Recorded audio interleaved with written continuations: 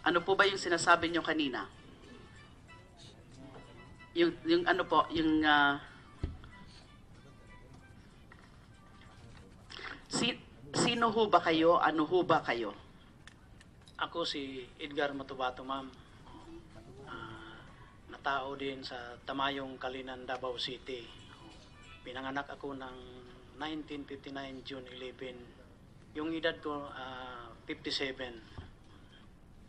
Noong 1982, pumasok ako ng Kapgo ng Scout Ranger sa batalyon ng Scout Ranger. So, Sige po. matagal din ako naging kapgo sa Scout Ranger. At saka pagka 1988, pag umpisang pag mayor ni Mayor Duterte, kinuha ako sa batalyon dahil maganda naman yung performance ko sa kapgo. Tapos pagkuha niya, dinala ko sa Davao City at nagtatag kami ng group, nagtatag siya ng grupo nga Lambada Boys kung liquidation squad ang Lambada Boys po, yung Oo, pangalan. Oo, Lambada Boys. Ah, ah, pito katao lang, one team. Ang team leader namin is Master Sergeant, si Lodi Pagidopon. Ah, si, ako, si Edgar Matubato, si Romel Capitania, ah, si Buboy Maldito, si Jojo Bosa, at saka si Insiktan, yung pito lang katao. So pito po kayo dun sa sinasabing Lambada Boys. Oo. Ang, traba- ang trabaho namin, ma'am, ay pumapatay ng mga kriminal. Katulad ng drug pusher, rapist, snatcher, ganyan ang pinapatay namin araw-araw. Ang pinapatay namin. Okay, so yung Lambada Boys, ganun po ang Oo. ginagawa. Oo, ma'am. Oo. Hanggang punto nga umabot kami sa 1993, dumami na kami. Kasama na namin ang mga Rivero Tornes, police, Rebel returnees. o Rivero Tornes at saka police. Uh, nagkuha na kami, yung mga opisyal na namin.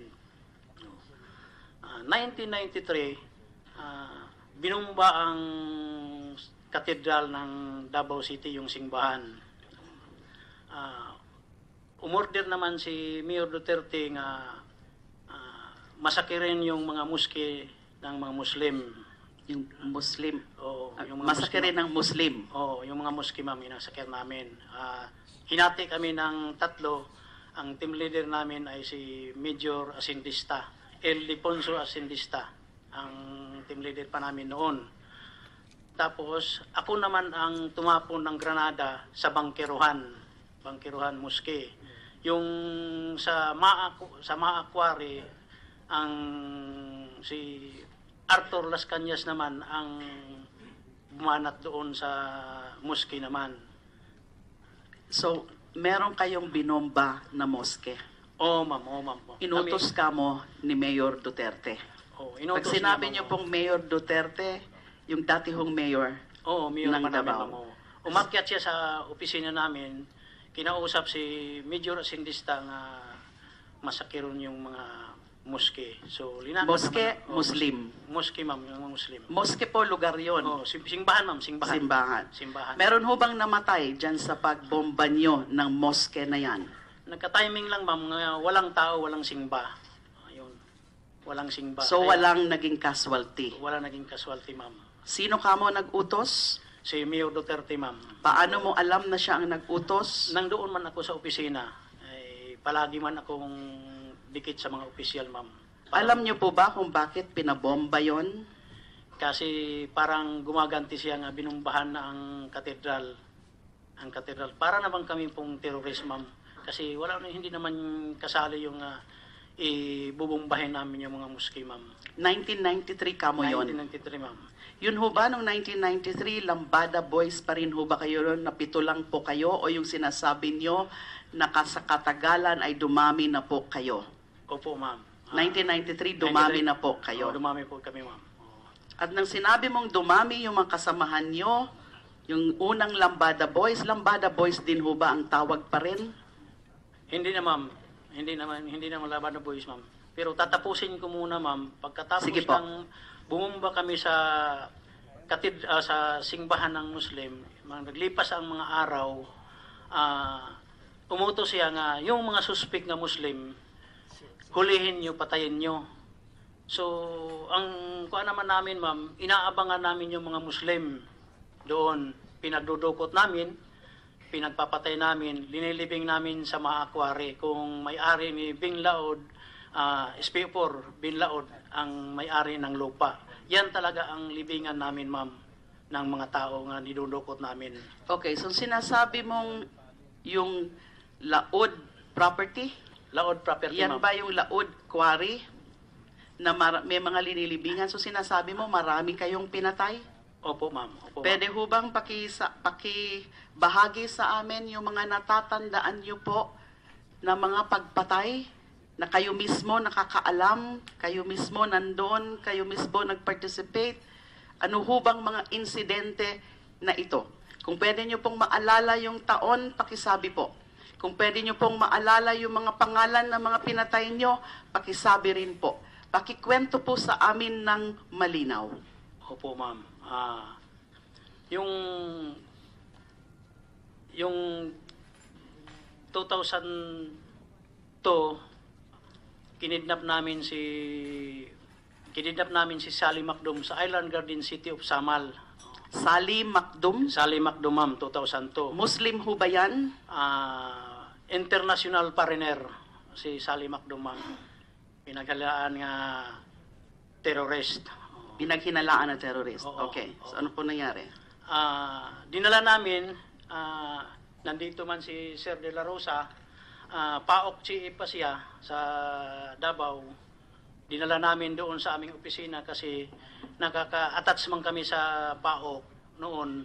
Dinala namin si Sally Macdom, si Arthur Las Cañas, Sino po si Arthur Las Cañas? SPO4 ma'am, police ma'am. Si Arthur Sino Las po yan? Kasama ho ba yan ng Lambada Boys? Kasama ng... Siya ang aming team leader na sa whole team leader ngayon ma'am sa DDS kung Davao Death Squad si Arthur Las Cañas ma'am.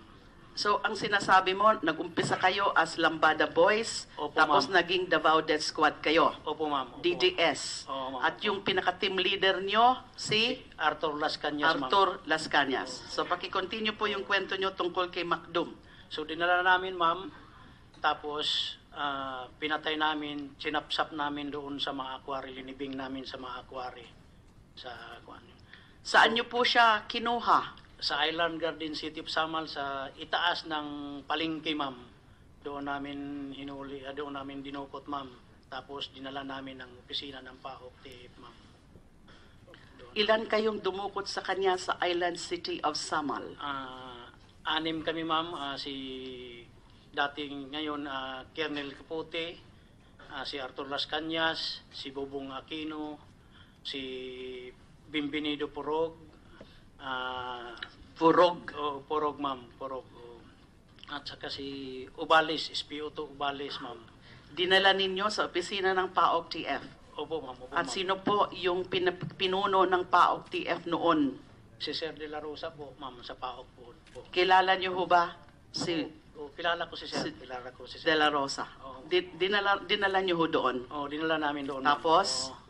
tapos ang nag-usap sila ni Arthur na ibiyahe na. So, dinala na namin sa mga aquari doon na pinatay si Sally Macdom. Paano niyo po pinatay si Salik Macdum? Ah, binigti muna ma'am. Pagkatapos pinutol-putol ang katawan hiniwa-hiwa ma'am namin doon. Pinutol-putol ang katawan? Oo, oh, ma'am, oo, ma'am. oo. At saan niyo dinala? Sa mga aquari po. Oo, mga aquari ma'am. Yung Ma-Aquari, ang may-ari noon, sino po? Si Bin Laod ma'am, SPO4 Bin Laod, Bin Binido Laod ma'am. So doon niyo dinadala O doon namin yung mga dinadala. ibang pinapatay ninyo. Oo ma'am, oo ma'am. At sinachap-chap ka mo? Oo ma'am. oo. Kaya Bakit hindi, kailangan i-chap-chap? hindi man pumapayag ang opisyal mga ordinaryo lang ang pagkamatay ng tao. Kasi ah, parang mga sadista naman ma'am. Parang mga sadista, kailangan nga putol-putulin yung katawan. Kinukuhaan muna ng damit, tapos sinusunog, katapos sinatsap-sap na. Ganon ho ba ginawa kay Salik Macdum o nagdi-describe lang kayo nung parang, yun ang parang pinaka-general na ginagawa nyo? Kasi sabi nyo nga, ang dami yung mga pinapatay. Opo ma'am. Ano po, ang, ang yung sagot na opo nyo, yung ganon ho ba yung ginawa nyo kay Sally Macdum? Oo, opo oo. Okay. So ano pa po? Bukod po dito sa Macdum, an, si, ano pa ho yung mga naaalala nyo? Sino pa ho yung mga naaalala nyo na pinatay? Yung, ng Davao Death Squad. Ito ho ba ang kwento nyo?